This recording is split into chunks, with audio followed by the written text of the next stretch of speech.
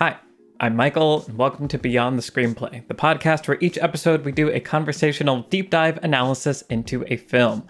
Today, we are kicking off our summer season by talking about Spider Man Across the Spider Verse, written by Phil Lord, Christopher Miller, and Dave Callaham, directed by Joaquim Dos Santos, Kemp Powers, and Justin K. Thompson.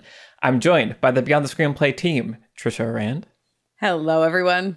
Brian Bitner. Hello, hello. And Alex Calleros. Hi. Okay, so like I said, we're kicking off our blockbuster summer, summer impossible season where we are going to be covering the entire franchise of Mission Impossible leading up to Dead Reckoning, and interspersed with that are super fun summer blockbusters such as Across the Spider Verse. Uh, so the full schedule is in the show notes and over on our Patreon. There's going to be fun special things just for patrons throughout the summer, like the uh, Discord watch along for Mission Impossible 2 that we're going to do for patrons. That's on June 24th, 4 p.m. All the details over on our Patreon. That's going to be fun. Haven't seen that movie in a while. And we'll need to talk about it. It's a movie. Yeah, sort of. Okay, but so let's dive into Across the Spider Verse. So, listeners may remember that in our episode on Into the Spider Verse, uh, I talked about being a little lukewarm on it and that I kind of enjoyed it, but the animation style was kind of weird for me, and the the different frame rates was weird. Uh, so I had some issues with it. I rewatched it before going into this, and the third time was the charm, and suddenly everything clicked and I was like, oh, this movie is wonderful. And Yay! the visual style is great. I can do it. Maybe it's because I watched Avatar The Last Airbender and now I can handle animation. I don't know. but it was a really great experience. Uh, and I'm glad I was able to make that transition so that I could go into this movie with enthusiasm uh, and have that enthusiasm sustain from start to finish because this movie is amazing. Yeah. And I was blown away. Uh, by everything about this movie. The visuals are stunning. The music is great. The characters are great. The writing is great. The theme is really interesting. It's just really good. Uh, so I'm really happy that we're kicking off uh, our summer season of this movie because there's so much to talk about. I really, really loved it, and I want to hear from you guys what you thought.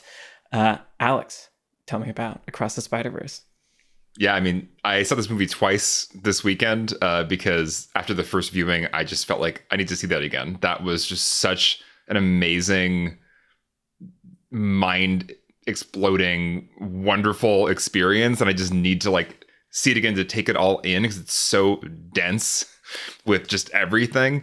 Um, and when I first started watching the movie the first time, it was almost too dense. Like I, I was actually worried at the beginning because there was that initial fight scene with the Renaissance vulture, like right. you know that, and then even you know Miles Miles Morales' first fight with Spot. It's it's so mm-hmm. fast. There's so much banter happening. It's so uh, like he leaves in the middle of it.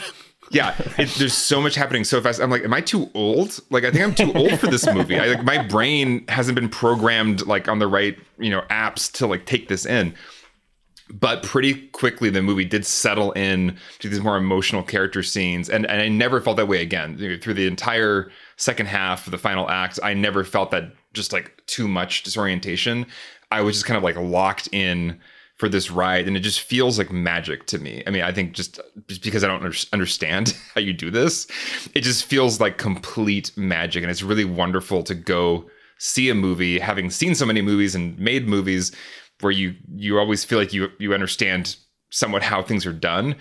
Uh, this is just like starting over again from zero. I don't understand how any of this was done, mm. but the fact that it all culminates in such like a rich, rewarding finale that is also a to be continued. That is like makes me want so much more. I don't know. It just felt like a magic movie that brought me back to kind of a childhood state of mind of I don't understand how this magic happened, but it's amazing and I want to just keep experiencing the magic.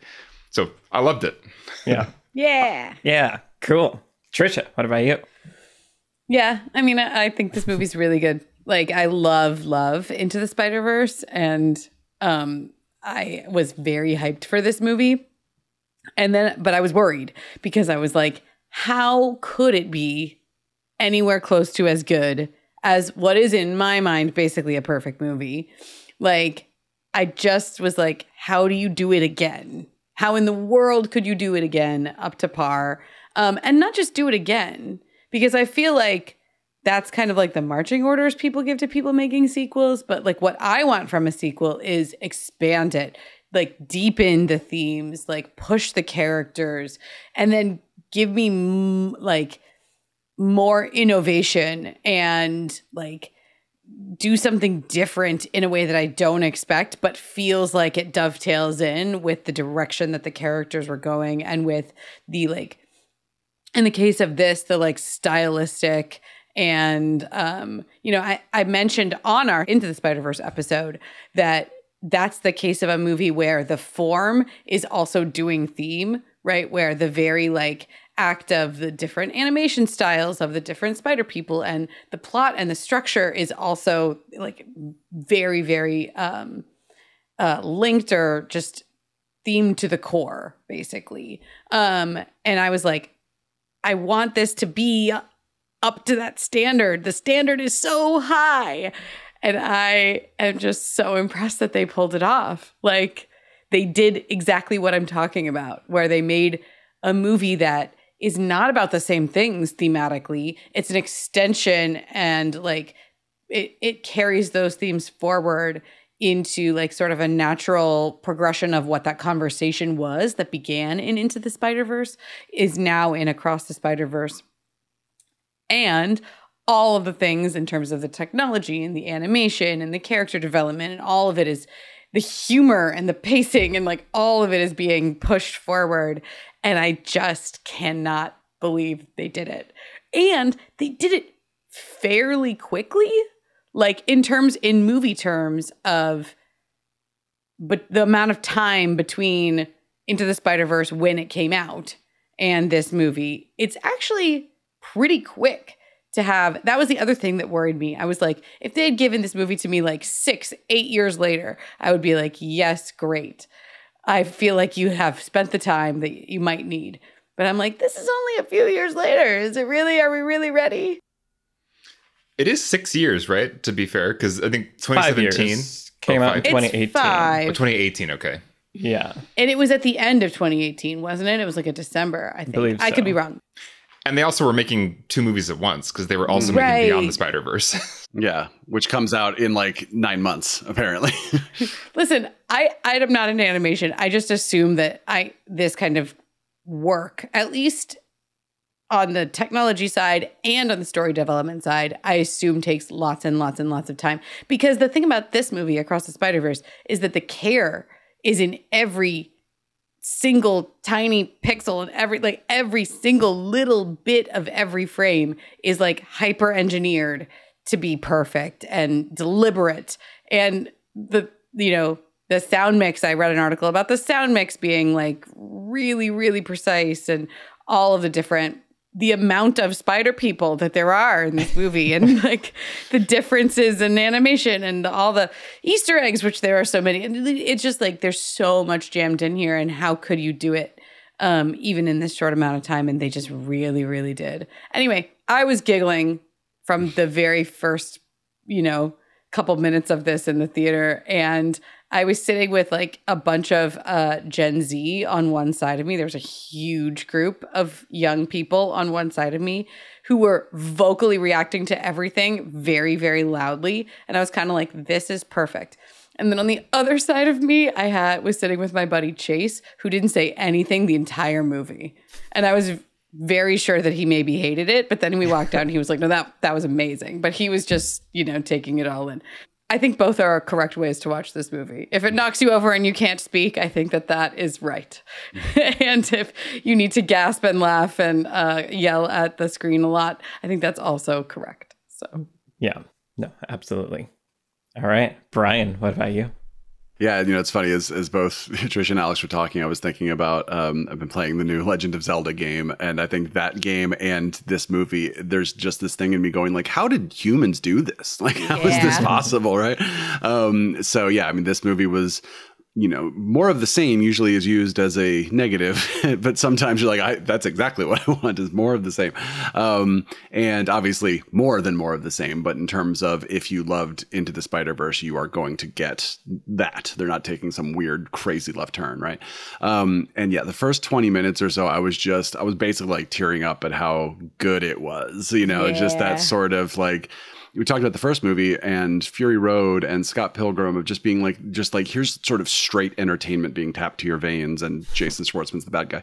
Um, and um, and the funny thing is, was going in knowing that it was going to be the first half of a movie, uh, and I had seen people say like, yes, that's what you should be expecting. It's first half movie, and I was like, okay. So then when the spot is getting his power at that final collider, um, I was like, oh, okay, maybe this is it. Like maybe we're going to do kind of an 85 minute tease of a first half of a movie. Um, and we're going to end on the Matrix Reloaded, Deathly Hallows Part 1, Infinity War ending, where it's like the villain has all their power now. Cut to black, you know, stay tuned for next year. Um, and then they were like, oh, wait, there's more.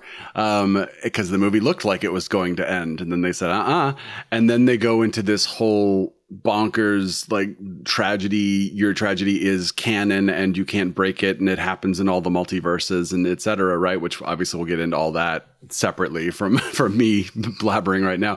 Um, and i was like okay this is interesting. And then now miles has to escape because he wants to you know he wants to not listen to the oracle basically and, and go off and, and, and try to make his own fate.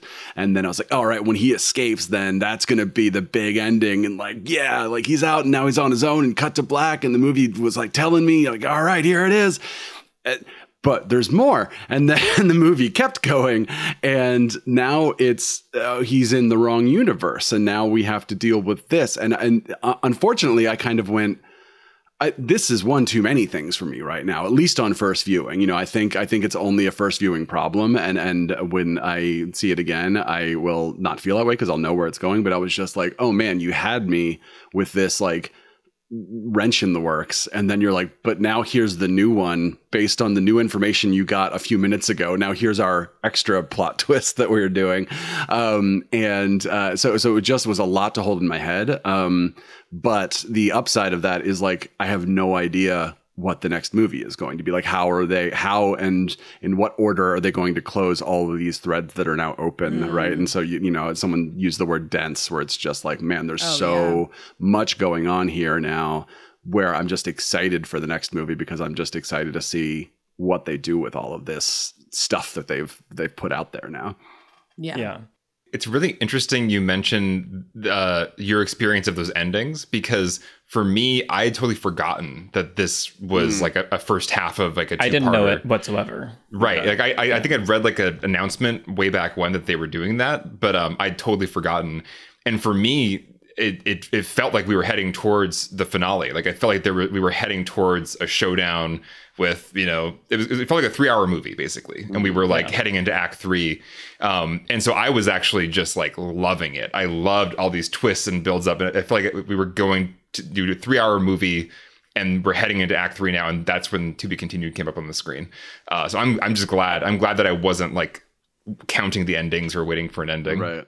Hmm Yeah, I think there's an interesting marketing thing that happened with this because I had seen the initial title was Across the Spider Verse Part One. hmm And so I was Mm. fully ready, but I think I was the only person in my theater that was fully ready. Like, oh yeah people reacted oh, the, the Gen Zs that were on my left were irate.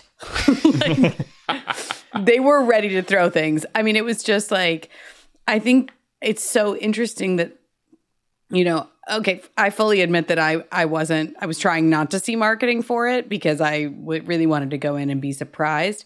But clearly they didn't do a good job of, a, of adjusting people's expectations to this being a part one, unlike something like Dune or perhaps Mission Impossible Dead Reckoning Part One. right um, which we will talk about. And um, I think that that's a really interesting problem? Question mark? Open question uh, that this movie has. It's a feature or is it a bug? Let's talk about Uh-huh. Well, yeah, I feel like this goes into like a, a structure It's a feature conversation. bug sorry. No. wow. We wow. or a bug, a feature about a bug man. All right, Michael, you talk. You're fired. yeah. Bye, everyone. Yeah, well, so so I think it. I mean, there's so many things to celebrate about this movie. I feel like it's interesting that we're sort of starting off with like the one of the couple bumps, bumps, maybe. yeah. Um, and and I think the structure of this movie is really interesting. And so as we're talking about sort of your expectations going into this, I think affected how you received all the ebb and flow of the the story. And so I think for me, uh, because I didn't know it was a part one, as I was watching the movie, I had this feeling of this is a very long act one. Like we've been in act one for like 40, 50 minutes here. Like this is a really long act one.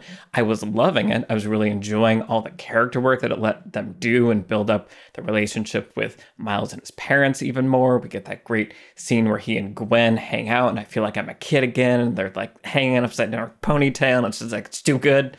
Uh, and so there's so much character work, theme work getting set up. Uh, and so I really loved that it was taking its time. But I was also like, we've been here so long. This has got to be a three hour movie. I should have looked at the runtime before I like got into this. And then it gets into the, the second act, which uh, is the really fun. Uh, starts with the detour to the the Mumbai city, but I forget the name of it. Mumbattan. Mumbattan. yes, thank you.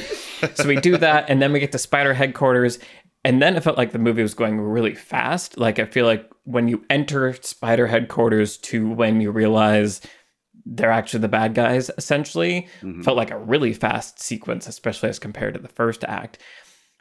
And so then it gets to the what is essentially the the third act, and it was this weird situation where I was like, I can't quite tell. Is it like are we getting ready for like a dark night and one more act to like another 20 30 minutes? Because i think i'm ready for that. And then part one hit the screen and i was like oh oh oh. And so i think that that leads to a lot of interesting questions about what can come next but also how do you structure and pace a film that is a part one? Uh, and as you're talking about tricia how do you set those expectations properly for the audience when they're going into it Well, I don't have an answer to that second question um, because I'm not in marketing. Uh, but I think we were talking about this on the Discord, and we sort of identified potentially two areas um, of like things that can you can resolve. Um, and so we were talking about character arc and theme, and in that kind of like that dimension of story. And then we were also talking about just like a plot things. Because I think some of the best part twos in the world resolve a character arc question or a thematic question in a beautiful way while leaving plot that threads unresolved. part two in this Of, of a situation three of a three part series. Or of uh, any continuation. So or yeah.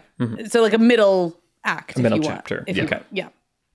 Um, and so we were talking about, you know, something like Two Towers, which does that, I think. It has this sort of thematic arc for at least some of the characters and then and resolves that and then it moves on but there's like so much plot that's unresolved right the ring hasn't gone anywhere near mordor yet and there are all of these other open questions that need to be resolved in terms of plot um, and so but there's a sense of satisfaction um, and even something like empire strikes back has a, the end of a character journey, right? You know, finally Princess Leia confesses her feelings and Han Solo knows already. But that's an expression of a closure um, in terms of character arc or theme, something like that. And Luke isn't done with his training and he goes to face Darth Vader and he totally fails, but that's still the resolution of a, a character question.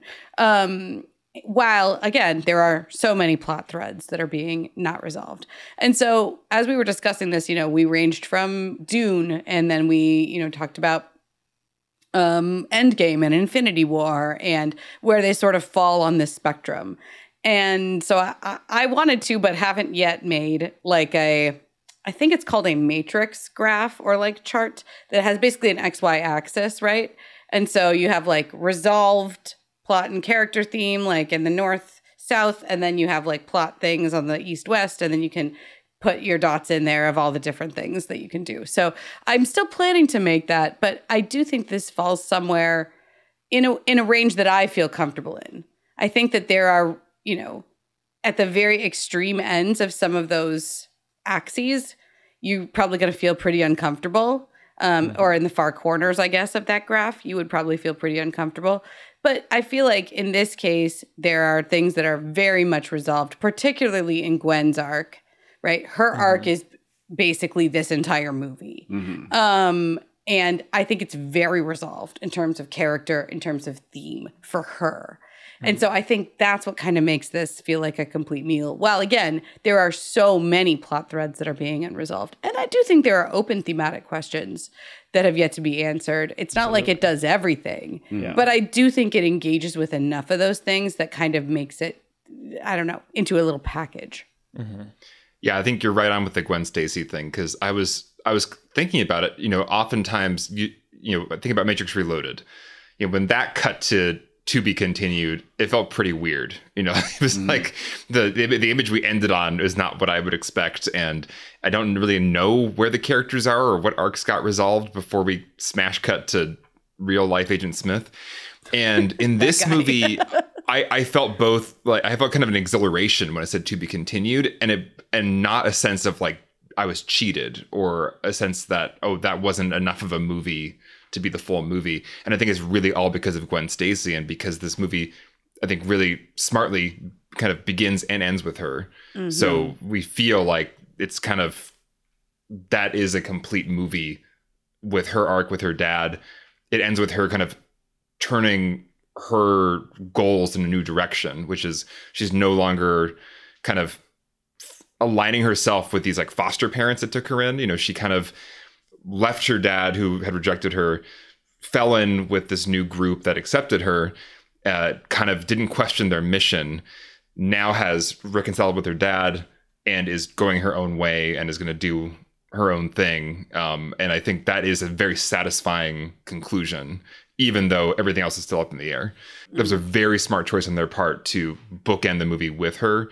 Because if it was, yeah, just very Miles focused and we don't have the Gwen Stacy father daughter, you know, her kind of leaving and coming back, then it would feel maybe a little bit more like the Matrix Reloaded ending of just like, you know, reveal dark side Miles and, you know, put your finger to the thing to like break out and then we cut the black. That would be like a little bit of that cut the black on Agent Smith. Yeah, you know, they almost they almost could have gone even farther if they wanted to, which I'm glad they didn't. Um, into like I was thinking how you like Marvelize this as an MCU Marvel, not Spider Man, which obviously is Marvel, but um, it- where it's like you just be like, okay, let's replace the spot or, or let's capture him. He's done this movie, and then we're gonna have another movie, another villain for the next movie, and then Gwen has her kind of ending, her complete arc, and then uh, wrong universe miles is like a post credit scene or something like that right? So you could even you could like really try to make that right. I'm not saying they should do this. I'm saying that you could have really tried to make this be a standalone movie right? But that was not what they were intending. So i think we're talking about two different things. One of which is the movie itself and the other of which is the sort of marketing surrounding the movie right? And and Right. we can stop talking about all this because we want to get into the actual movie but um but i do think it's a it's probably a studio thing to say don't call it part one because then people won't go see it. They'll wait till part two is out. They'll watch it at home da da da. And because it was going to be called part one and for some reason it was changed right? So we don't know why that is. Um, and so maybe that's the right money move or whatever but i think it's the wrong expectation move to then not tell your audience coming into your movie this is the first half of a of a, of a bigger story right? Um, now that doesn't mean the movie itself should be any different. I just wish I, I i do wish for people who didn't know that this was the first half of a movie that it, that that intention was clear. It's almost the opposite of what Dune did. Dune was called Dune until you sat in the seats and it said Dune Part One. You're like, oh, okay. And so then when it doesn't end, you're like, okay, I know what I'm into. This movie sort of they went from calling it Part One to burying that fact, and then and then I I, I hope I hope people are excited to see the third movie, even if they were disappointed by the ending of this movie. But uh, but yeah, I just think it's an interesting conversation.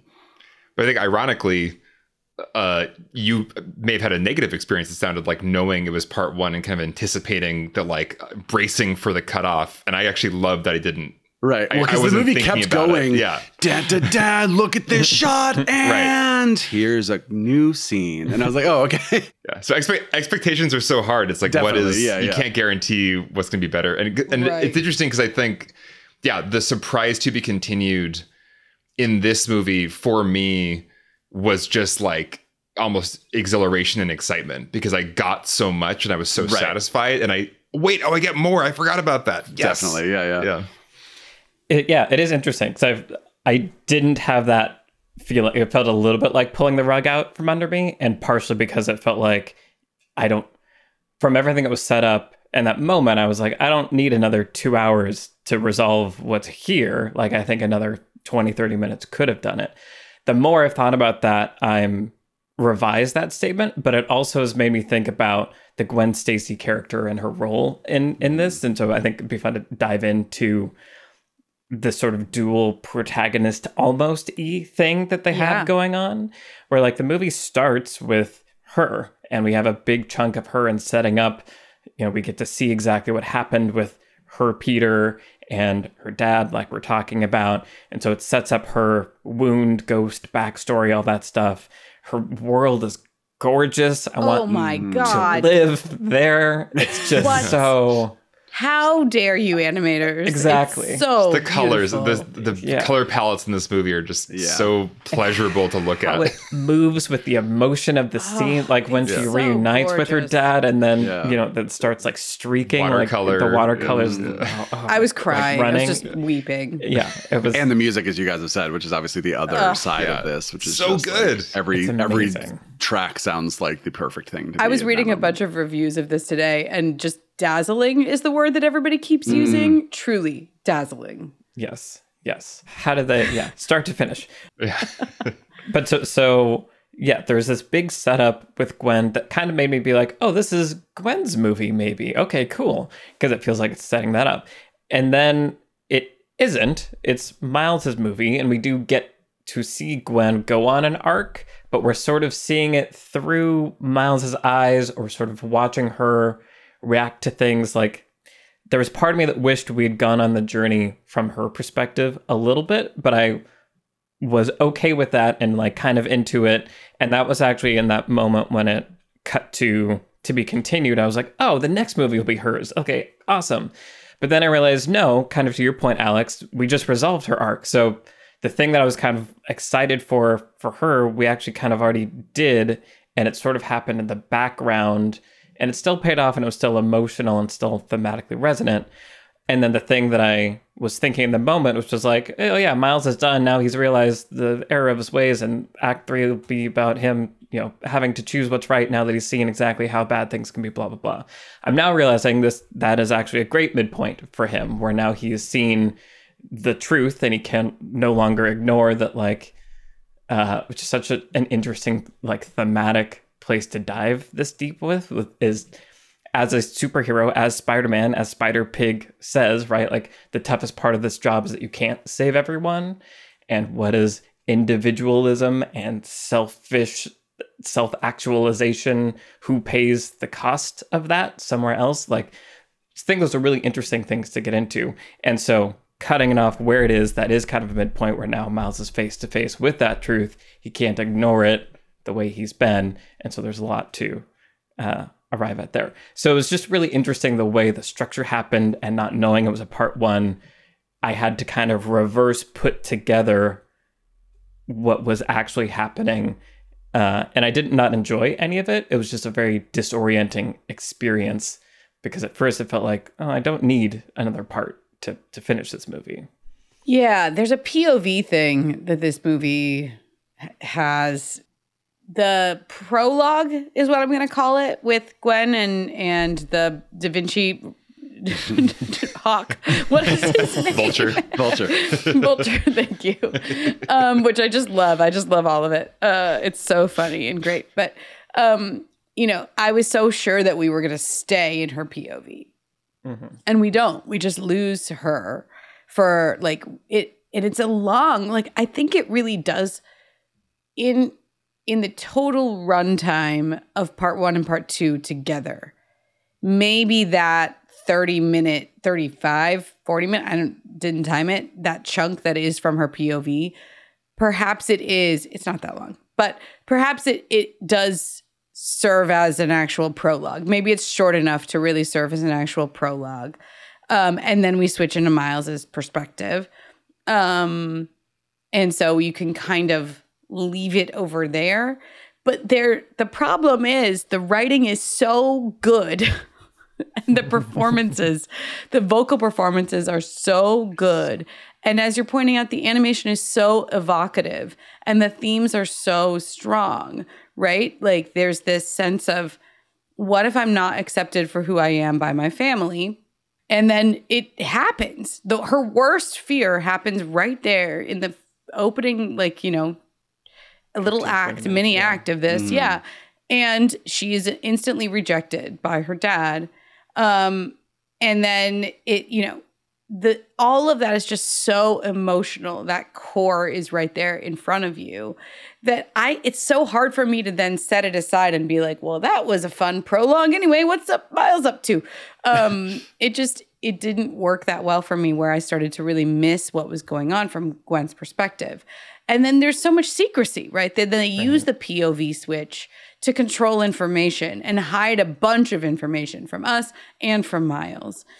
And I just missed being in Gwen's head. Now, to be fair, the series, well, I say the series, but uh, the Into the Spider Verse does this, right? It it has these like sort of mini expository sequences and scenes all the time, and the secondary um, protagonist of Into the Spider Verse is you know the Peter B. Parker character, and we have a decent amount that's like kind of from his perspective also, um, but not to the extent there, and so I I don't think there's something wrong with it. I'm not trying to solve it necessarily, but just that if you're bumping on it, I think that there's a legitimate reason why. It's because you're in someone else's head now and they're doing it on purpose to you to hide a bunch of stuff from you and make the story about Miles, which up until that point it suggested it was about Gwen. Mm-hmm. Um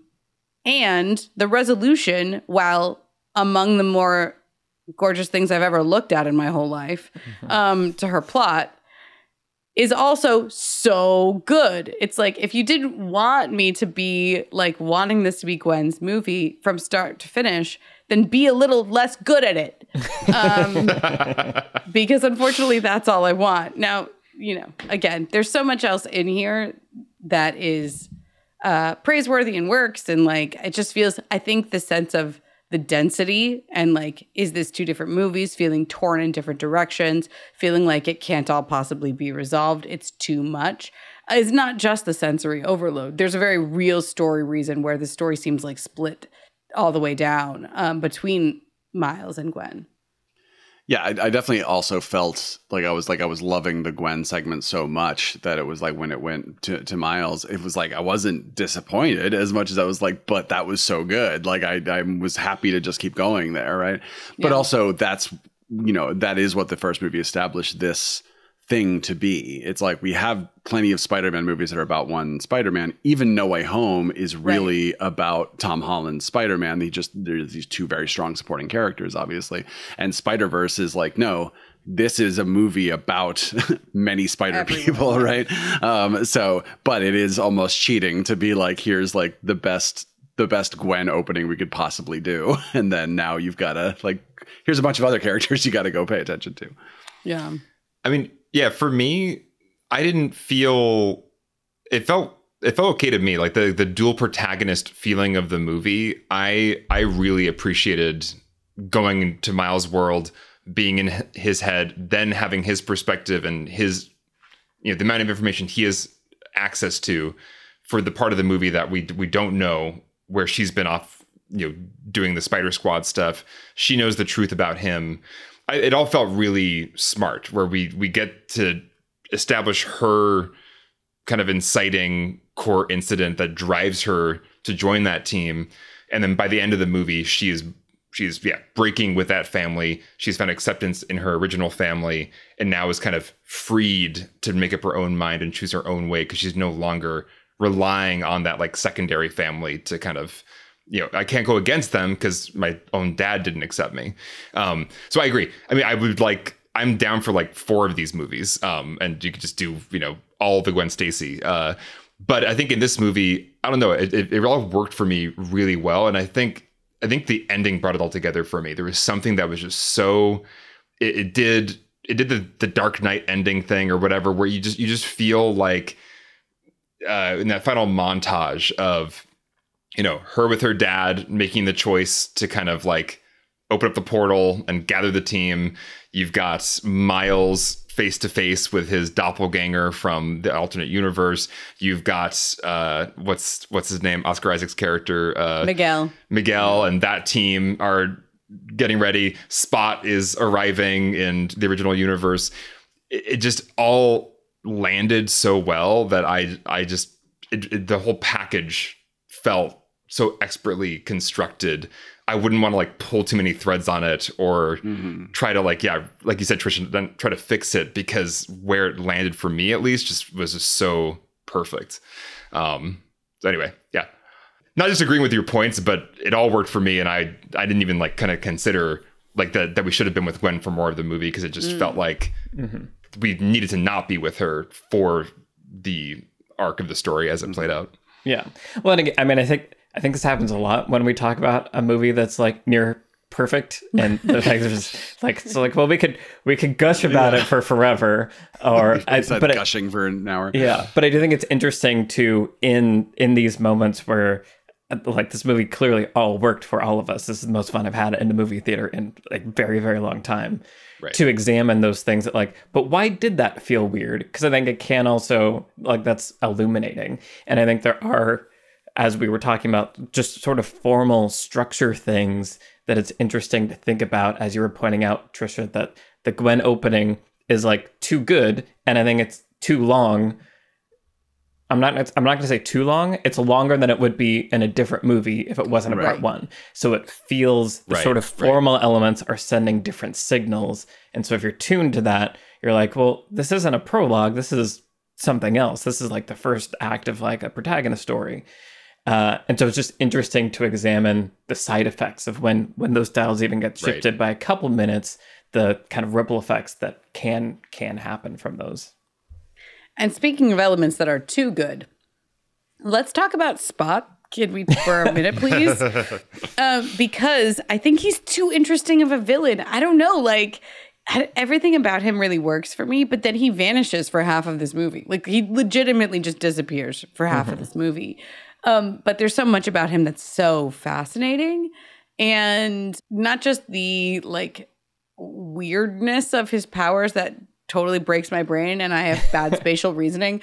And this is you my nightmare. Play Portal, Tricia.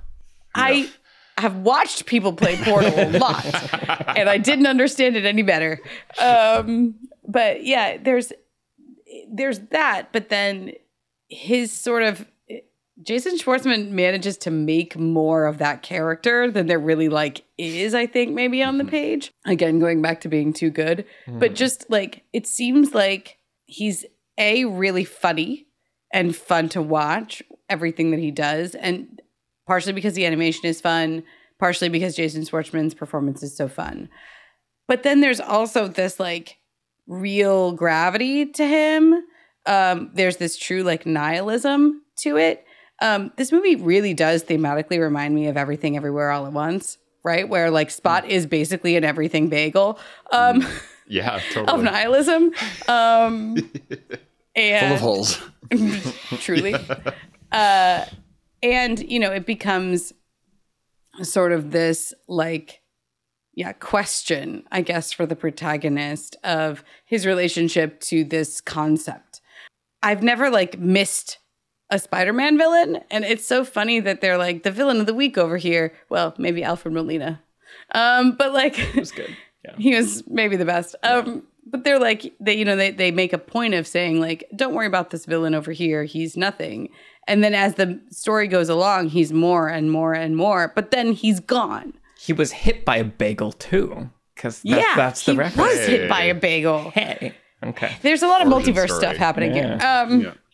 Anyway, but yeah, there's just part of the you're talking about how your body is receiving different signals structurally if you're like attuned to structure and I think that that's part of where it comes in. It's like I haven't seen Spot in such a long time mm-hmm. that that even if I had no idea there was a part 2 coming, I'd be like, nope, we're not going to get back to him soon enough because he's too interesting to wrap up his plot line in 2 minutes or 5 minutes or 10, right? He's too interesting. So we have to have half an hour at least. Like he's, you know, a Thanos level villain for sure.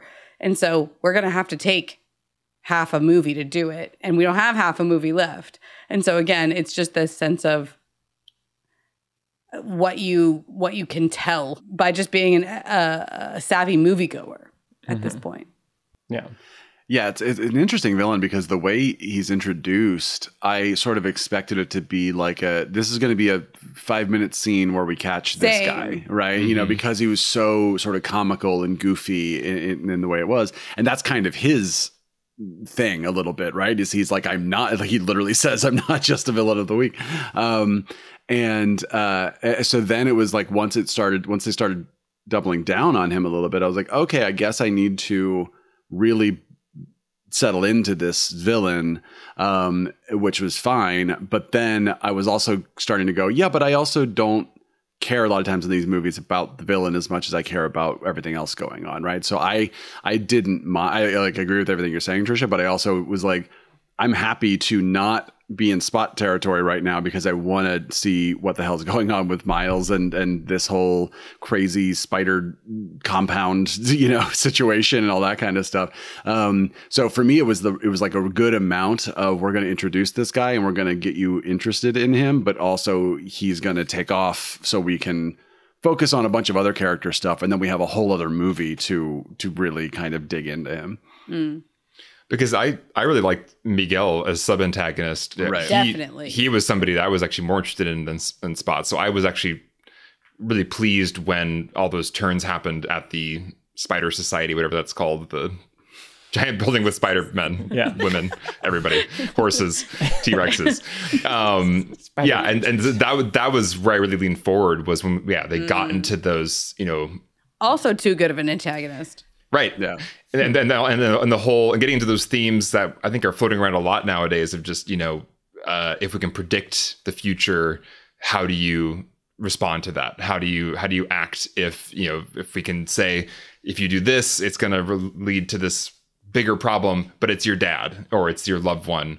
That that ethical dilemma I think is maybe because of AI or just like the way our worlds we feel like we're machines and we're predictable. I, I think it's just a really interesting theme. Westworld did a lot of this that is just floating around out there, and and I I loved how they took that thing from the ether and applied it to the Spider-Man lore, which is so based on you know specific inciting incident kind of tragedies as as character defining Right. um and and it you know this movie is doing we mentioned the other, the other day on uh the speed uh Patreon exclusive podcast. I mentioned a video essay by thomas flight about metamodernism in movies and the idea and everything everywhere where all at once is was his prime example of a meta modern movie.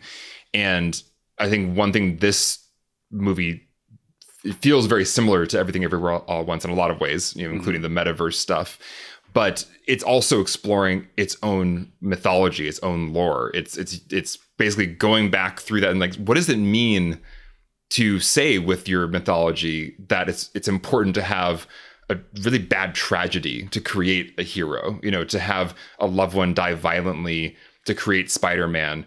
Like does spider-man need that to be spider-man? Can spider-man be motivated by things other than deep dark you know family tragedy or you know captain dying tragedy and i think that's really exciting because now it's the next movie's going to kind of answer that or explore that uh, meta question about the franchise and about superhero stories and the spider-man specific mythology Yeah, we're, we're in such a weird place. I, I'm gonna be fascinated, like 20 years from now, to look back at this this time right now, where you know, I was going to bring up that video too. It's uh, Thomas Flight. I think it's uh, it's called like meta, metamodernism or something, as as you said. Um, I forget what the actual title is, but So I think it's like, why do movies feel different now? right or something like yeah, that. Yeah, Um, and, uh, and and sort of you know Matrix Resurrections and Everything Everywhere All at Once and Spider-Man No Way Home and Across the Spider-Verse. They're all these movies that are about themselves, right? Like they're sort of these recursive kind of we know you know what movies are, so now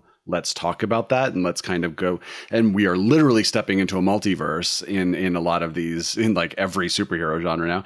Um and so if no way home is saying what if all the spider-man movies you saw over the past 20 years were all part of the same shared multiverse and all these characters could actually come together and meet each other and like talk about their shared stories and stuff then now across the spider verse is th- th- the next part of the conversation which is what if this these sort of tropes that happen in superhero movies are a necessary canon that that can't be broken right? And it's it's interesting it's like for better or for worse, franchises are getting to a point where they're, they're raising the question: like, is it better to make a make the next movie just be a commentary on it, like itself on this franchise, right? On wh- where we are now, or should they be pushing for just brand new stories? Here's something that's nothing like you've ever seen before, or should a franchise check out when it's getting to that point where it's like, well, if if the next movie is just going to be about the other movies, then maybe we shouldn't keep making that, right? and this is, but this movie's so good that it's just sort of like, I don't know, do everything and then make it, just do it all really well. Stay tuned for our Indiana Jones and Mission Impossible episodes coming up on the new installments in those franchises. Right.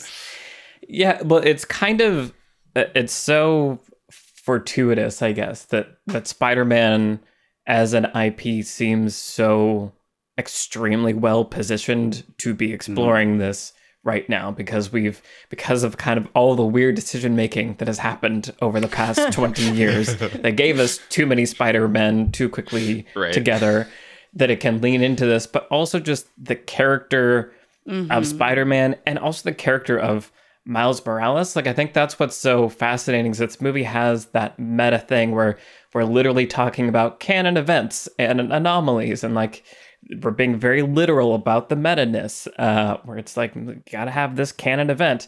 That's canon. That's what comics are, blah blah blah.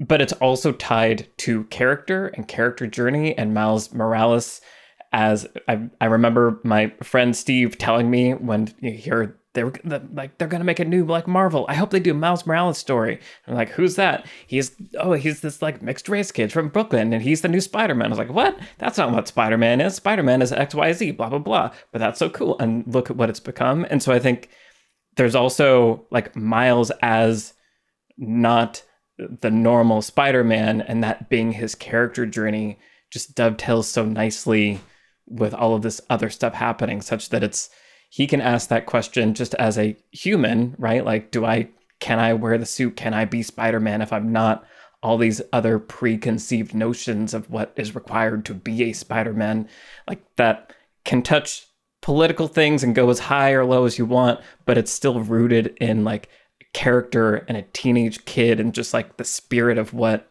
you go to a Spider-Man movie for. And I feel like that's like the the story design magic of this movie for me is that it's doing all of these things, but it's still super personal and just about the characters and it doesn't feel like it's bending one way or the other to hit other things to me anyway. Yeah, I very much agree. I think that when we were talking about uh, Into the Spider Verse, we talked about the youth of Spider Man and how that's a key part of the character. And like, even though we have some Spider people in this and in the previous, you know, in, in Into the Spider Verse, we have some older Spider people. Um, but we ta- talked about how the origin of the character that sets Spider Man apart from other superheroes is his youth, his optimism, and his naivety, and how that works well and makes the character relatable and humanizes the character. And this very much is still a coming of age story in a lot of ways. It feels almost like a graduation story. Um, I volunteer with youth and it's June. So I've been going to a lot of grad parties and talking to high school graduates and just people who are at the end of formal schooling and on the verge of adulthood. And there's very much that sense in this movie um, of in order to feel like ready to tackle the world in like a new chapter of life, especially as an adult, if you're moving from youth into adulthood, you need like a sense of affirmation from the place that you come from and then a sense of like sending. So it's like we see you, we know who you are, you are enough, you are what the world needs. And go out into the world, we give you our blessing, right? Like that's kind of what this ritual is about. And basically every culture has a coming of age ritual. You know, here we associate it with graduation. Um but it it's a pretty much universal phase of life. And I love that this movie engages with it even more than the original uh, film did, where there is very much a sending scene. And it's exactly what I'm describing. It's that ritual of like, we see you, we love you, the world needs you. We affirm that, and you can go out into that. Um, it's such it's so beautifully written too. Like, mm-hmm. it's gorgeous. It creates a little bit of a sense of resolution, as we talked about earlier but still feels unresolved because the way that Miles's mother sees him is still not complete, and we know that, and she doesn't know that. Um, and so, again, it's digging into these themes, and Gwen's arc is dealing with it too, right? She feels also unseen, and for that reason, there's there's not um, for the bulk of the movie for her until she comes back and talks to her dad. There is not that sense of being able to move on from this phase of her life, from this childhood phase of her life. And then she gets her resolution. Um, but we know that Miles still doesn't quite have his. And so I just think it's really beautiful. Again, it's like you're diving into ideas that have been raised in the nature of the character, in the nature of the genre. Um, one thing I do like about the Tom Holland Spider-Mans is that they are also, or at least especially the first one, Homecoming, was very much like about this kind of idea of the youth of the character and the naivety and how you grow from that and then, you know, step out into the world. And so I love that this movie is doing that. And it isn't resolved for Miles yet, but I have every confidence that it will be. And it's complex. Um, what it's going to look like for him in terms of you know all the points you were touching on alex is like is it does do we have to have tragedy does that have to be a part of our story does it have to be a part of the way we define ourselves i love that that that's all going to be in the conversation moving forward yeah it's so well done i'm worried i'm worried about his mom they do a lot of character building i'm so worried about mom. her and I think that's part of what's really cool about the twist also at the end is that it it could be in a different movie what you're talking about, Tricia, like he goes and he tells his mom and like he finally it seems like he finally gets it and like they finally see each other, but it's not his mom twist. And like right. all of that is it's just really, really well constructed and as you're saying, sets tease things up for the next one in a really interesting way. Yeah. Uh, spoilers for the Spider-Man games, the the, the PlayStation games. Um, but Miles's dad does die in that story, and so I was definitely like watching this, going like, "Oh, okay." I, as a non comics person, I know one other Miles Morales story, and that's what happens. And then, of course, they know that we know that that's mm. what happens, right? And I think that it's an interesting thing about the sort of the Lord and Miller verse with like Lego Movie and Mitchells versus the Machines and Spider Verse is like we know you've seen movies, and obviously Daniels with Everything Everywhere. So it's like if if you if we know you know this scene is going to happen in five minutes, then we're going to make it happen in thirty seconds, or it's not going to happen the way you thought it was going to. And also, there's 17 things in the background that are more interesting than any other movie you've seen, right? Like right. so so it's just like there, there's like constantly push pushing this, whether it's narratively or whether it's stylistically. There's just always this pushing of of okay, fine, this is how movies are normally made, but you've seen those, right? So now what's next? What do we do from where where do we go from here? Yeah. Yeah, there's tons more to talk about. Let's move into lessons and keep talking about it in in lessons. Listener, if you want to talk about it literally with us, uh, every month we have our Patreon film club where our top tier patrons we all get together on Zoom and hang out and talk about a movie. And so our film club for July is going to be talking about Across the Spider Verse. So July 1st, usually 10 a.m. Uh, we're all going to hang out. So if you want to talk to us about it, head over to the Beyond Screenplay Patreon. Lesson. There's lots more to say. There's there's so much to say. Cool. Brian, what lesson are you going to take away from Spider-Man Across the Spider-Verse? I was thinking watching this movie about what I'm going to call impressionistic storytelling, um, which you know the the one thing I don't even remember what it is. Maybe Alex, you can remember since you saw it twice, but or even someone mentioned it where Gwen is talking to her father in in that first scene, and like I don't know, she sighs or something, and like pink just kind of wafts across bleeds. the room, right? Yeah, yeah, yeah. bleeds. Um, and I was just thinking there's so much you can do with the medium of film and i've talked about this before to make your audience feel what you want them to feel. And so many movies are here are two actors looking at each other saying words to each other right? And that is fine. Like there are plenty of movies where that is great.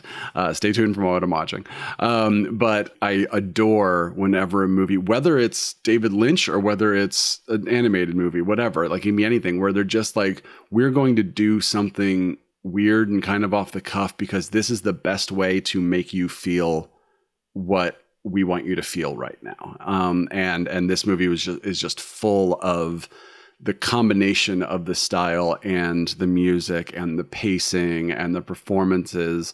Um, just everything is constantly making me go.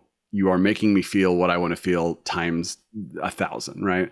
Um, but then to get into like what is the lesson there, I was just thinking about screenwriting. And we have we unfortunately have we talked about this in quiet place a little bit when we talked about the original script uh, of of a quiet place where it's like we unfortunately are tied to this here is a white page with black text and now make your audience feel what you want them to feel, right?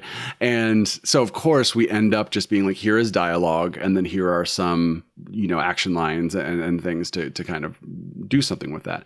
And there is so much you can do in a screenplay. You know, I, I remember I, in our Moonlight episode, I read from the screenplay. I was like, this stuff isn't even you can't even film this, but it just makes you feel exactly what the what what you know Barry Jenkins wants you to feel in this moment as you are reading his script. Um, and hopefully that feeling will will translate to the movie, even if the words in the script can't actually translate to the movie. Um, so, uh, lesson wise, I just think like do everything you possibly can with the text in a script to generate a feeling and to and to communicate a mood to your reader, but also there are a lot of these movies there are there are pitch decks and storyboards and Spotify playlists and mood boards and character thing, whatever. You know, it's like I love playing with any media with Photoshop or or like a, a, Spotify playlist or something to sort of be like, here is the script, and hopefully the script speaks for itself. But I want to do as much as I can to communicate what's in my head to you, the person who is consuming this. So I, I think it is a fun experiment, and that might help your script be stronger too. You know, so I just think it's whatever you are making, if it is something especially that is that has like a really strong feeling or mood to it, just think about things other than the script you can use to communicate that, but also make your script be as good as possible to try to put all that in there as well, if that makes sense. Yeah. Yeah, because I feel like it's like you're saying, I think, especially if you're an aspiring filmmaker, being able to communicate what's in your head clearly to other people not for better or worse, but essentially, right? Like if what you're picturing uh, isn't good, you want to be able to share that with people, and then they can see what you're you're picturing and be like, uh, but, but what about this? And then you can make mm. it better. Um, and so I think there could be a fear that using other media is like a replacement for story. Sure. And that's right. not what you're saying, right? You're saying right. like those things should be pointed at supporting and amplifying what's good about your story and getting people to understand how it should feel when they're experiencing that story. Exactly. And yeah. that's yeah, super powerful. Because in the case of Across the Spider Verse, like if you stripped away all of the amazing style, the story is still really good. Exactly. Like oh, yeah. the story exactly. is super compelling. So that's why the movie feels dazzling, is because it's got the rock solid story Right. And on top of that, the most amazing animation you've ever seen in your entire life. Yeah. For two hours and 20 minutes. Yeah. Yeah. Which yeah. is insane. The longest uh, American animation film of all time, or thus far, oh, wow. I think. I read. Mm. No complaints. No complaints. no. Yeah. Uh, awesome. Alex, what's your lesson? Yeah, mine's almost kind of an open-ended question lesson about this part one and part two movies. As we've been talking about a lot in this episode, we have these several examples in recent years. We got we had Dune Part One a couple of years ago. We're gonna get Part Two this year, and, and we'll see what that entire thing feels like as one big giant two part movie. Uh, we're gonna have Mission Impossible: Dead Reckoning Part One uh, in a you know month and a half, and I'm I'm curious to compare these three examples and see which part ones work the best because um, part ones are hard of these two parters where you're essentially announcing to the audience in the case of these other two movies dune and dead reckoning that this is just a first half of a movie. Um, how do you end those part ones in a way that doesn't feel like a cheat? Um, you know dune was interesting. We talked about you know the the final scene of that movie being the kind of knife fight. And you know i i kind of agree with some of tricia's uh i think tricia had its perspective from reading the book but I mean, in the book, there's maybe a clearer rite of passage that killing someone is for Paul Atreides, and in the movie, it just felt like this was another scene, another obstacle overcome, and now we're moving on. And now, oh, Zendaya told me that the movie's over because she said, you know, this is just the beginning. Uh, but but it didn't have the same uh, culmination thematic resonance of the end of this part one in Spider Verse that I experienced, which which felt like I felt deeply satisfied at the end of this mm-hmm. part one, even though it was also the biggest tease, the biggest cliffhanger possible. Um, so anyway, I'm just excited to compare this to uh, Dead Reckoning Part One, and then see how they all pay off in their Part Twos. And I think we have a really interesting case study. These three right. Part One, Part Twos, all very close together, all dealing with the two-parter thing in different ways. So yeah, I mean, as Tricia said earlier, it there is something about give me a complete arc, you know. So whether it's Gwen's arc here, whether it's um, Paul's arc in Dune Part One, where we are seeing him sort of go from being this kid to this you know warrior or whatever like whatever uh, whether it's frodo in fellowship of the ring where like that the first movie is really about him whereas the whole trilogy is about lots of stuff right lots of characters lots of things right. going on but frodo sort of making this big choice um, and sort of really committing to it by the end um, and uh, and yeah it'll be interesting to see uh, with like Dead Reckoning Part One, like, are we getting a complete movie or are we getting something that feels like, ah, you didn't actually give me a fully? I think it's going to be a meal of a movie. I'm yeah. not worried about it really, yeah. but I but I do know you mean. There are part ones that can feel like we we we only made half a movie and not we made a complete right. movie that is also setting up uh, part two. Right. I will make a little matrix chart so we can we a little a little graph so we can start putting these movies on there where we feel like they actually go including the Sounds matrix good. movies on your matrix, yeah. matrix of course yeah. yeah. the matrix matrix also interesting that those three examples all announce themselves as parts in different ways mm-hmm. so that can be a part of our conversation also mm-hmm. like some have it in the title some don't and some right. don't and then tell you when you're as soon as you're at the start of the movie yeah. Uh, yeah. right right three different ways to do it yeah, yeah. Tricia, what's your lesson? Yeah, I just want to talk about Hobie for a minute. Um, oh my God, Hobie! Have we not talked about Hobie? Don't worry, I got you. so uh, yeah, I love Hobie. Um, Daniel Kaluuya's performance, absolutely incredible. I just love Perfect. him so much. I always forget how British he is. Yeah, like yeah, yeah, so yeah. British. Oh, um, but I he plays American characters so well. Also, I love the animation style, but. Uh, we often talk about supporting characters like occupying sort of a different thematic place so they can speak into the themes that the central characters are dealing with. And Hobie is perfect for that. And that ends up being a really critical role in this movie. Even though he's playing a very small part, he ends up being a crucial ally. And I can't wait to see what he does in the next part. Um, but, you know, there's a, a not even secondary, there's a tertiary theme here about authority if you will, and like Miguel's authority and why he's getting to call the shots, and um, even just this organization of spider people. Um, like Miguel is making decisions on behalf of basically everyone. Like he has decided that these are the canon events and we can't break them, and those are rules that we have to follow. And Miles, you also have to follow these rules. When you don't follow these rules, bad things happen. I have all of this angst to prove it uh, and I'm voiced by Oscar Isaac, so you're going to believe me. And so like there's this establishment piece to the themes in this in this film. Um and into Miles's choice, right? Um you know, Miguel ends up being a manifestation of those things. But the actual meat of what Miles is dealing with, of like, am I going to accept something that I've been told about myself um, and about what options I have or do not have? Um, that's very much the crux of what Miles is dealing with in terms of his identity. And Hobie is here to say, absolutely not. Mm-hmm. and it's great. Like, it's just great. And it's mostly played for comedic effect, but it's a thematic counterpoint that's actually really effective.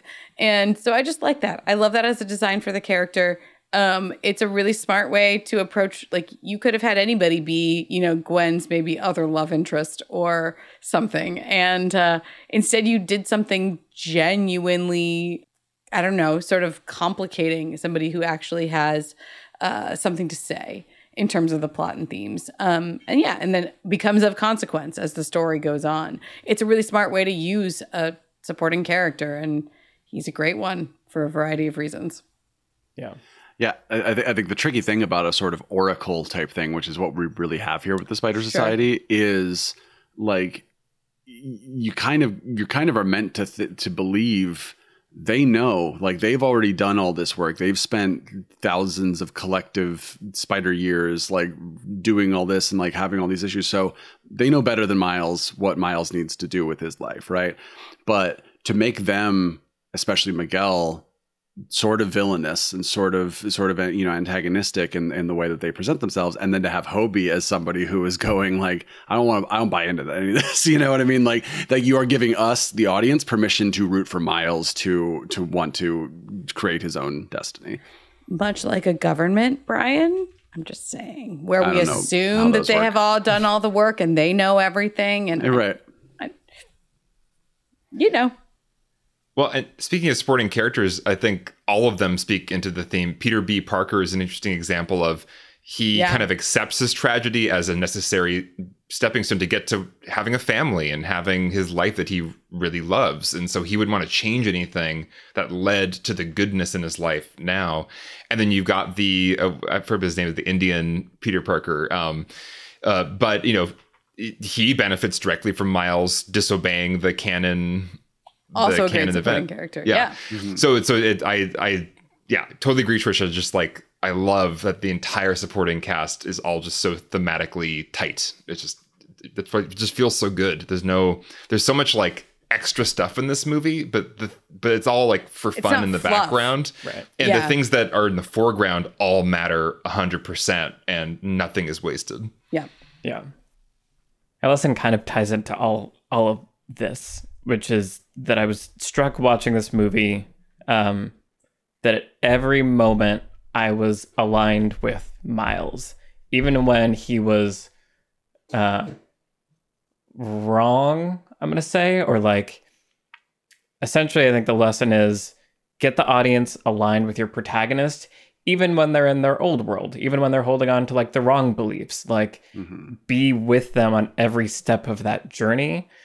And this movie, as we've talked about, uses every single tool.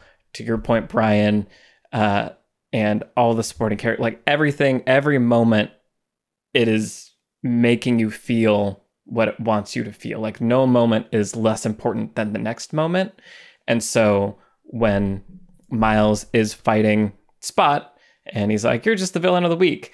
Everything that's being done in the execution is making me feel like, yeah, that is a villain of the week. This is gonna be a fun little like intro fight, and then we're gonna get on to the real thing. And then the movie does that, right? The movie did that on purpose. Miles gets to his meeting with his parents, but then Spot continues and Miles is like, wait a minute, that's not supposed to happen. And I'm feeling like, wait a minute, that's not supposed to happen.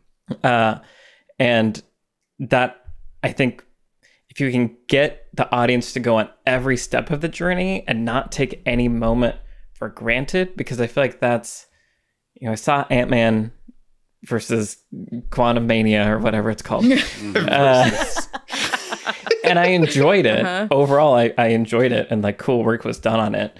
but there is a certain amount of like this scene's going to happen and it's going to tell you that this is what you're feeling now and then the next scene is going to tell you how to feel and it's sort of just like connecting the dots a little bit slow and slow and this movie doesn't take any of that for granted and makes every moment of every scene important to you and invested in that so that the twists and the emotional turns and the theme are actually impactful such that when miles says nah i'm gonna do me i'm cheering because like yeah, like yes Yeah. individualism. You stand up for yourself. No one can tell you what to do.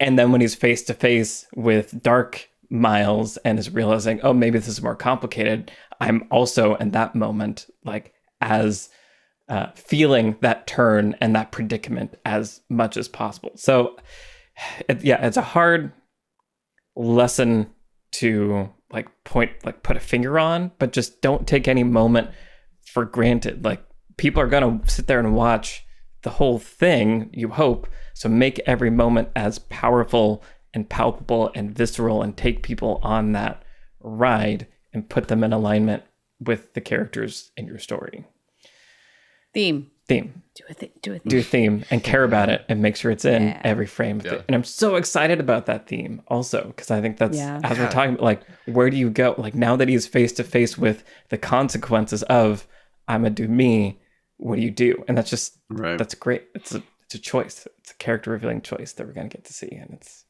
very excited. What else have you guys been watching recently? Tricia, what have you been watching recently? I'm so glad you asked. I sat down and watched 65, which is the Beck and Woods Adam Driver versus the dinosaurs. Oh my god, this movie. Yeah. Speaking of the Somebody original watched it. script of The Quiet Place. yes, I did. It was me. I watched it. Um, you know, I actually really wished you guys had seen it. I mean, Adam Driver lands on Earth uh, by accident. He is an actually an alien from another world. Um, human, but not human. He's an alien from another world. Um, So it's not he- time travel. He's actually just no, it's not time place. travel. Oh, No, okay. he's from a totally different planet. And his ship crash lands on Earth, and uh, it's him, and there's only one other survivor from that.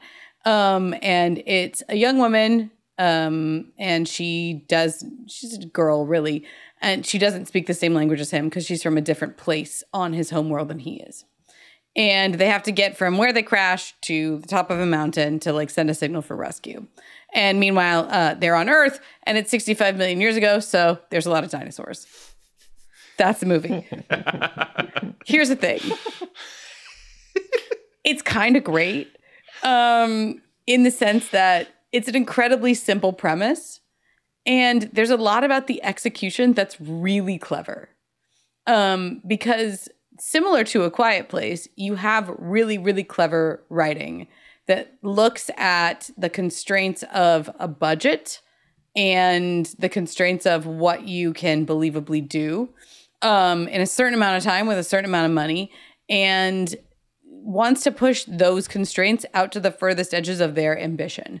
And there's a lot that actually kind of works about it because it's smart. Like, I I don't want to get too much into it, but for example, the choice I mentioned, where he and and this girl don't speak the same language, becomes of you know real conflict and real problems, um, and also keeps the story from like straying into um, goofiness. I mean, it's still very goofy, but it would be a lot goofier, right? It like there's a grounding to a lot of the choices and I don't know, if you just want like a really fascinating example of how to make what should be like a 200 million dollar movie for a quarter of that cost, you know, 65 is your movie. And I don't know. Uh, I had a lot of fun watching it. So you can rent that. It's on a number of streaming services now. Uh, yeah, 65. Nice. Okay. It's quite a premise. I like it. Alex, what have you been watching recently? So I've watched it a couple times now, but I missed it during Oscar season. Uh, but I finally watched Tar, uh, starring Cate Oh. Blanchett, I did too. and Ooh, guys. man, I really liked it. Like I found it to be such a fascinating movie that I it was like slow but so captivating and so interesting and it's kind of like almost like sterile objectivity, but it's also very kind of intense. Uh, and just Cate Blanchett is just she's like an Mm-hmm. alien like god person. Like i don't know how she's so good. Like She's good at acting, um, as I said she's really Twitter. good. Yeah just like the way she could embody this character like so fully is mind-blowing. And yeah just it, it reminded me that you know todd field's last movie was little children which was like 13 years ago or something now and i also loved that movie. Um and i just think he's a really interesting filmmaker that likes to kind of brush up against really gnarly thorny subjects and kind of controversial ideas but brushes up against those things in the most like smart and kind of fascinatingly objective way just kind of presenting like presenting the audience with just like some things. And it's kind of up to you to like deal with it. And like what am I, what am I what do I do with all this? Um and little children I think did that as well with some really kind of controversial sub- subjects so yeah tar I, I can't like recommend it to like any random person because a lot of people i know just turned it off because they were like what the hell is this movie um but i just found it to be really fascinating and yeah it's, it's like it's like shot like a horror movie i don't know there's just so much going on and i just can't stop thinking about it so Yeah, I did Tar. also Yeah. ultimately love it. I thought about Brian and Tricia. I think you guys were sort of saying like a little too long, first half better, something to that effect. And I was feeling that where like it does get long, and the second half I think is not as captivating. But the first half, I was like, I'm watching a 20 minute real time interview with Cate Blanchett Yeah. playing a New Yorker character, interview, and yeah. I am loving it. Like I want this to go on forever. Uh, so I was really into it also. Uh, but that's not my thing. So we'll get to that later. Brian, what have you been watching recently? Um, I've been watching a lot of sort of second tier in terms of how well they're known Hitchcock movies. Um, so I saw for the first time Suspicion, Marnie, Dial M for Murder, To Catch a Thief, and Notorious. Whoa. Yeah, um, and uh, most of them in a theater, which which is always great. Um, and they're all great. I recommend them all. Marnie is wild. Uh, Tricia, No, I was just gonna say, um, yeah, I'm so curious what you're gonna pick as like your favorite one of that batch. okay, I have a I have a clear Is it. Dial M for Murder? It is. yeah. I knew it. based on my earlier comment of you can just have people talking in a room and it's fine. Mm-hmm. Um, but I wanted, I just want to shout out Marnie as as probably the worst of these five, but it is such a bizarre acid trip of a bananas movie with Sean Connery and Tippi Hedren, and it's it's like this weird B movie. Sometimes it's brilliant, and sometimes it's just like it's so campy. Um, so it's a lot of fun. Um, but yeah, Dial M for Murder is easily one of like a top five Hitchcock for me, if not a top three. Uh, it's Grace Kelly. Her husband find out she's having an affair, and he plots to have her killed. And it's based on a play, so ninety percent of the the movie takes place in their apartment, and characters come and they go, and every scene is so compelling and well paced and you just like you just can't wait for the next thing to happen. And oh is they are they they're gonna see that thing? That thing is right there and someone might see it. And oh, you know you're just like constantly in this total state amazing midpoint that then now you're like well now what's the rest of the movie going to be? Um and so satisfying too. Like it was just uh suspicion's a really great movie where the the studio didn't let hitchcock keep the ending. And i think the ending would have been awesome and the ending that's there is like ah it's fine but dial M for murder is like everything that you want to happen happens exactly in the way you want it to happen so absolutely, i'm absolutely so sold on- yeah absolutely check yeah, it out I gotta see it. and, and any of the others do I need to see it again. I saw it a long, long time ago and remember liking it, but I remember nothing. But as you're talking, it's like coming back to me, and I'm like, I, I should watch that again. That's good. Definitely should. Yeah, nice. But what have you been watching, Michael? Well, Ted Lasso recently ended. Oh. Season three happened. I didn't know season three was the last season uh, until the last episode, just before the last It episode. still officially is not. So right. we'll see. But they Really? pretty much they, It's- it would be silly for them to try to do a fourth season in the, in the Right. conventional, you know, what you think of when you hear that. Um, but like Ted Lasso, is just it's such an interesting outlier in so many ways in terms of like the content that is made, and there was so much hype when it came out. And people are like, "Oh, it's the best thing ever! You will like it. You will love it. You do not have a choice." And I did really enjoy it.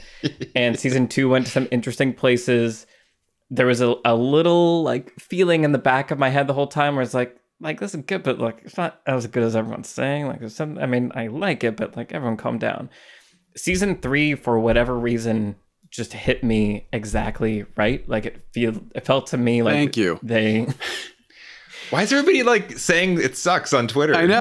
wait Every- really? Everybody like th- I thought everybody hated it based Yeah, off just like online reactions. Oh my- Not that yeah. well received. oh my Yeah. i am stunned I've seen like headlines and articles of like Ted Lasso is just like really you know ruined itself in this last season. I give up on humanity then. I don't know. Because I feel like this season was like great and important and such a a good model of how to do a progressive 21st century show with like modern it felt like a kid show but for adults in like the best mm-hmm. possible way of like Yeah. oh i can watch a story that isn't cynical and has like is putting generous good things out into the world and i can enjoy it and not like it doesn't make fun of it like i don't know it was just like nailing modern morality in a way that felt genuine and sincere and thoughtful and i don't know i just like i loved it it felt like important viewing that made me feel better as a human afterward and not like yeah this does validate my cynical like way of life so I don't know. I yeah, I can't say enough about it. I really really liked it, and I feel like it's another that sincerity and caring about every single moment. I think it's also kind of what I was trying to say about uh, across the Spider Verse of like care enough that you're telling me your your story. You're not just doing your story at me, but like tell me a story and bring me in. And I feel like Ted Lasso. I don't know. This season I thought was amazing. So so there, Twitter the internet is wrong. Yeah. Nice. yeah. Would not be the first time, internet, my opinion is objective fact.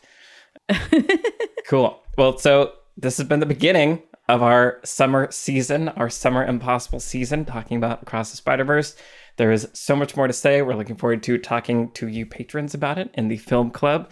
Uh, and if you are not a patron, this summer season is a great time to join because, like we said, there's the Mission Impossible 2 Discord watch along that we're going to have, which is going to be really, really fun. One of our patron exclusives uh, is going to be on either Elemental or Asteroid City. Patrons are deciding that. And then, of course, after going through the entirety of the Mission Impossible franchise, it culminates with a patron exclusive about Mission Impossible Dead Reckoning Part 1, which is going to be, I'm very excited about. Um, And of course, after that, we have Oh, don't leave the out. biggest well, head yes, to head. that will be of the for season. everyone. But patrons get to decide which are are we are we going to talk about Barbie or are we going to talk about Oppenheimer? You get to decide. Can only be one. Patrons. there can only be one. I love how legendary this this competition is. Just like Woo! online, just the discourse about Barbie versus Oppenheimer is just. Uh, as of this uh, recording, the vote is really close. I was So- going to say, it is not a blowout in either direction. I just Yeah. need you guys to know your vote matters. It is very close. The vote is open Who's now. ahead as of right now? It is Barbie. It but is Barbie by a by a very little slim bit. margin. So Fascinating. if you want to if you want to move the dial on that, head over to the Beyond the Screenplay Patreon and make your voice heard democracy, the most important vote of all time. all it time. is. We want you. Thank you, as always, to our patrons for making the show possible. Thank you to our producer, Vince Major, and our editors, Donovan Bullam, Caleb Berg, Graham Harther, and Eric Schneider. I'm Michael Tucker, and I'm joined today by Tricia Aurand, Brian Bitner, and Alex Calleros. All of our Twitter handles are in the show notes. Send us a tweet and say hi, and we will see you in the next episode for Mission Impossible. Bye, everybody. Bye bye. Bye.